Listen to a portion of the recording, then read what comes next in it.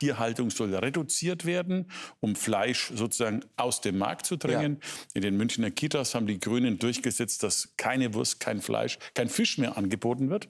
Ähm, und das, da wird schon ein kein kleiner Fisch Kampf drüber geführt. Angeboten, angeboten wird. Aber ja. essen darf man es trotzdem, ne? Ja, wenn aber natürlich dort nichts gibt, Aber das sagen Sie so. nie dazu, das ist interessant. Man darf ich sag's ja jetzt gerade. Es klingt so, als würden die Kinder, ich musste nachfragen.